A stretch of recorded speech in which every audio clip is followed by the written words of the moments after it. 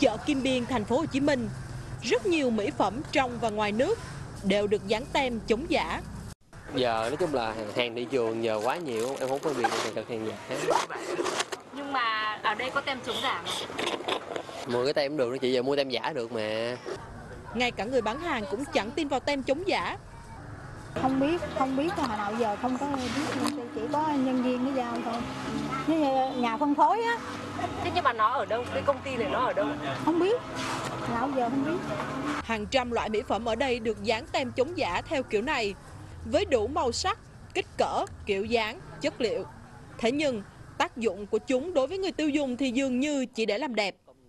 điều tra và xử lý hàng giả thì đây là một trong những cái công việc mà phải nói hết sức là phức tạp bởi vì hiện nay một số cái đối tượng làm giả rất là tinh vi Sở Thông tin và Truyền thông Thành phố Hồ Chí Minh cho biết, hiện việc cấp phép in tem chống giả rất đơn giản, thậm chí muốn nhận in tem, chủ cơ sở in chỉ cần chụp hình mẫu tem gửi cơ quan chức năng là xong.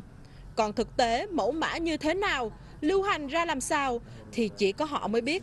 nó sẽ gây cho khó khăn cho công tác quản lý nhà nước về cái việc kiểm soát cái mẫu in tem giả không biết cái mẫu nào là sẽ là mẫu in giả thật và mẫu nào là mẫu in giả giả à, thì kéo theo các cái hệ lụy về sau cho các cái sản phẩm khi mà dán in giả Khó kiểm soát mẫu tem chống giả, đây cũng là nguyên nhân khiến cho thị trường tem giả lộng hành.